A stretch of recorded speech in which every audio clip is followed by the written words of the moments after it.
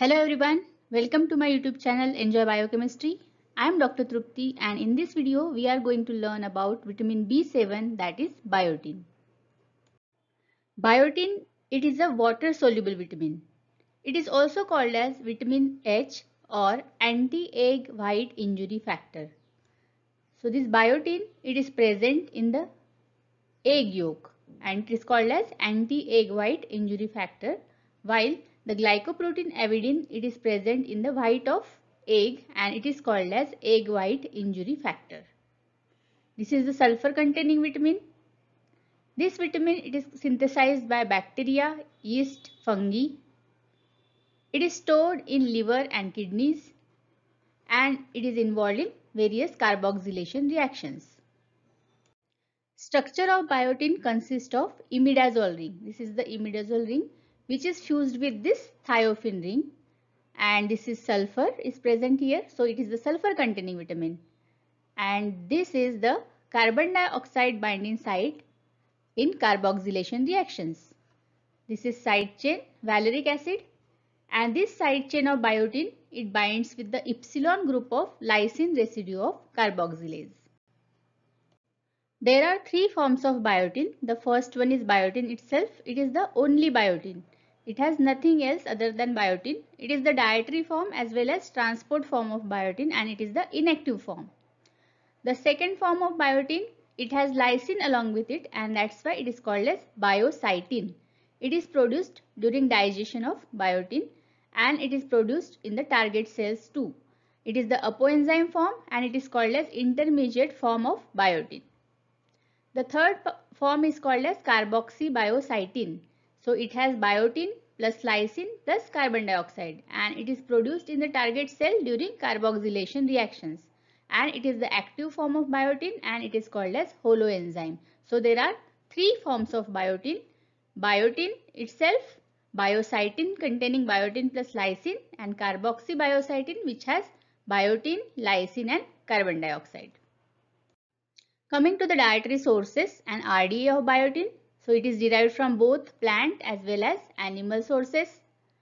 The various plant sources are legumes, grains, tomatoes, carrots, yeast, peanut, cauliflower, etc. So these are the various plant sources of biotin. Now which are the animal sources? So it can be derived from meat, poultry, liver, kidney, egg yolk, salmon fish, milk, etc. So it can be derived from both plant as well as animal sources and it can also be synthesized from the intestinal flora. The daily requirement in adult male and female is about 30 microgram per day and lactation it is increased to 35 microgram per day. Now let's see the metabolism of biotin. We can get biotin from both diet as well as it is synthesized by intestinal bacterial flora. Now in the diet the biotin is bound to protein. So it is a dietary protein bound biotin.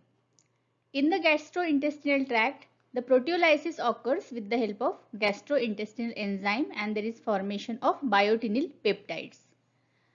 Now, in the intestine, this biotinyl peptides, there is release of this biotin by action of enzyme intestinal biotinid, biotinidase. But if these biotinyl peptides, they have lysine along with it, if it is a biocytin, then it cannot be hydrolyzed by the intestinal enzyme biotinidase and there is no release of biotin if it is a biocytin.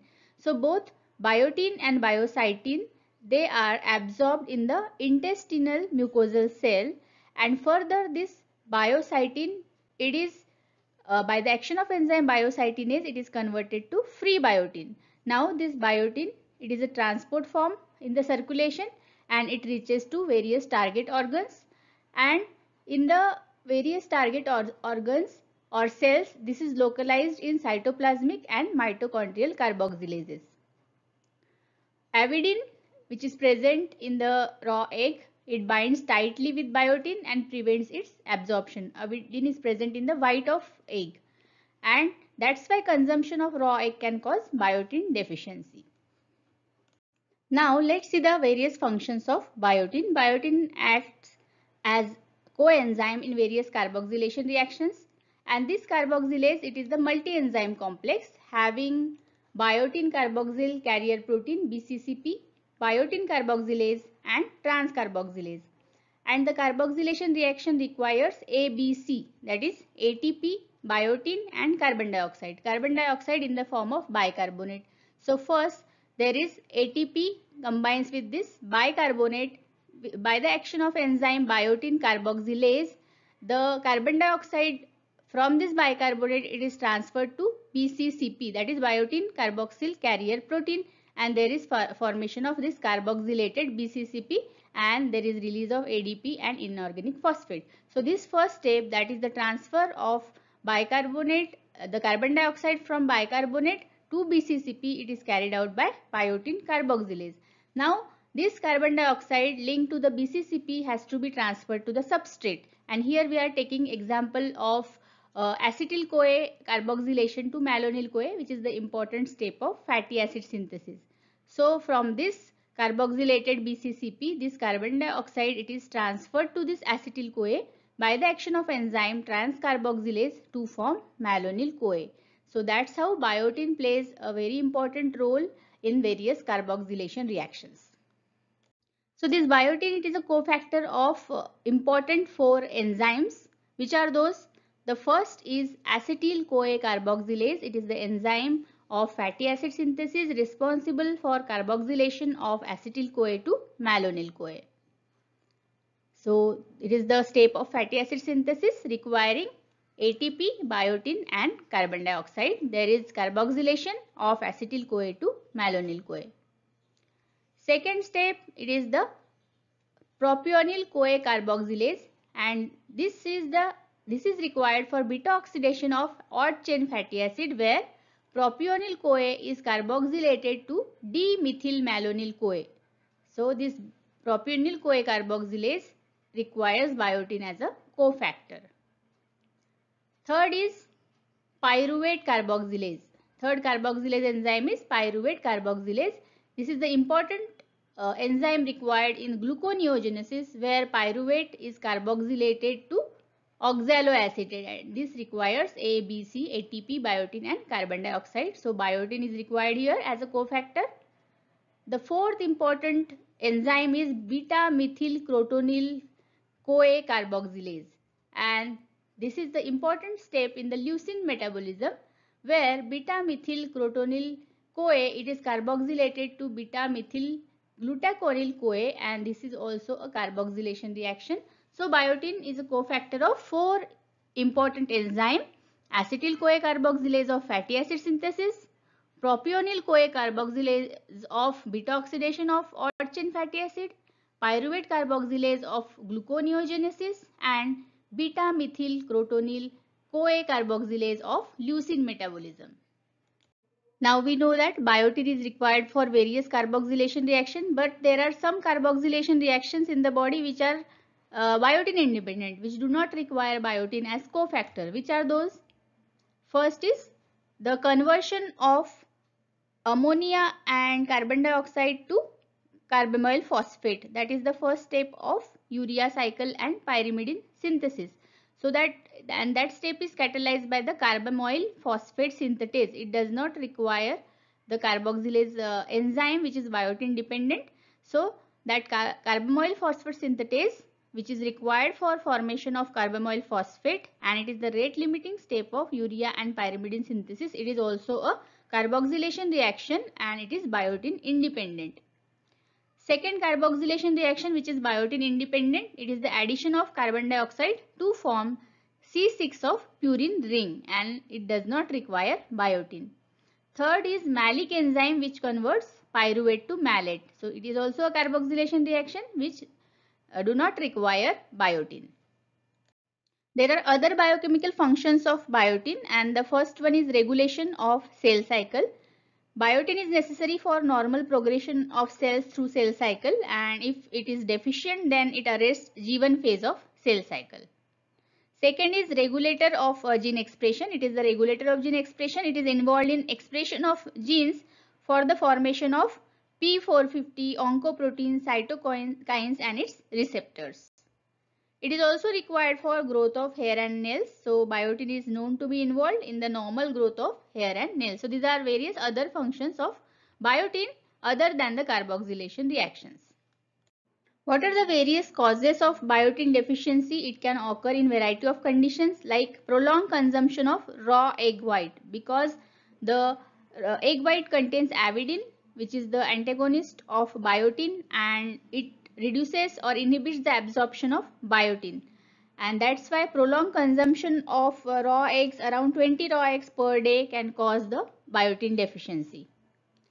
Destruction of intestinal flora by antibiotics. So as we know that biotin can also be synthesized by intestinal flora.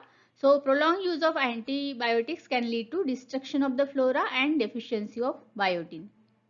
If there is multiple carboxylase deficiency, it can lead to biotin deficiency. And in case of breastfed infants, if they have diarrhea and we know that the uh, breast milk is a poor source of biotin, so they can uh, there can be a Leiner's disease if the uh, infant is breastfed and he or she has diarrhea. So all are the various causes of deficiency of biotin. What are the various deficiency manifestations of Biotin deficiency. So biotin deficiency can be manifested as dermatitis, atrophic glossitis, hyperesthesia, muscle pain, anorexia, nausea and hallucinations. And if there is multiple carboxylase deficiency, it can occur due to mutation of this uh, BTD gene which is present on the chromosome 3. It is the autosomal recessive disorder it is seen in 2 to 5 months of age and the manifestations are seizures, hypotonia, alopecia, developmental delay, optic atrophy, hearing loss and tomcat urine odor. So these are the various uh, manifestations of biotin deficiency. The biotin deficiency can be assessed by the various metabolites which are excreted in the urine. So there is accumulation of various substrate of biotin dependent enzymes they, those are excreted in urine in biotin deficiency and those are lactate, beta-methyl crotonate, beta-hydroxy isovalerate, beta-hydroxypropionate. So all these can be measured which are excreted through urine and the biotinidase assay the normal level is 2 to 8 nanomole per ml per minute. So this is how the biotin deficiency can be assessed. How it can be treated? It, it, it can be treated by oxybiotin injection 100 to 300 microgram and oral biotin supplements like 5 to 10 milligram per day. Biotin antagonist. Avidin is a biotin antagonist and streptavidin it can bind to four molecules of avidin and it is used to detect pathogen in the ELISA test that is enzyme linked immunosorbent assay. So there is role of this avidin in the form of streptavidin for the detection of pathogen. The other biotin antagonists are biotin sulfonic acid, desthiobiotin and imidazolidine carboxylic acid. So in today's video we have seen the chemistry, dietary sources, RDA, metabolism, biochemical functions, deficiency causes, deficiency manifestations, assessment and treatment of biotin deficiency. Now we will see some important MCQs on this topic. So the first MCQ is Consumption of raw eggs can cause deficiency of pantothenic acid, biotin, riboflavin or thiamine. So we know that raw egg has a avidin which is the antagonist of biotin. So it will lead to biotin that is B7 deficiency. Anti-egg white injury factor is pyridoxine, biotin, lipoic acid or thiamine. So it is Biotin. Biotin is also called as vitamin B7, vitamin H and it is the anti-egg white injury factor. And avidin is called as egg white injury factor and biotin is called as anti-egg white injury factor. So the answer here is B that is biotin. The coenzyme responsible for carboxylation reaction is biocytin, TPP, PLP. TPP is thiamine pyrophosphate, PLP is pyridoxal phosphate or NAD. So we know that for carboxylation reaction, biotin is required and biocytin it is the coenzyme for um, required for the carboxylation reaction. So biotin plus lysine it is responsible for carboxylation reaction which is involved in the transfer of uh, carbon dioxide from substrate to the carboxylated substrate. So here the answer is biocytin The vitamin as a coenzyme required for fatty acid synthesis is, is it thiamine, riboflavin, folic acid or biotin? So we know that for the fatty acid synthesis, the first step is acetyl-CoA is carboxylated to malonyl-CoA by action of enzyme acetyl-CoA carboxylase. And this reaction is the carboxylation reaction which require biotin. So that's why biotin here it is required as a coenzyme for fatty acid synthesis.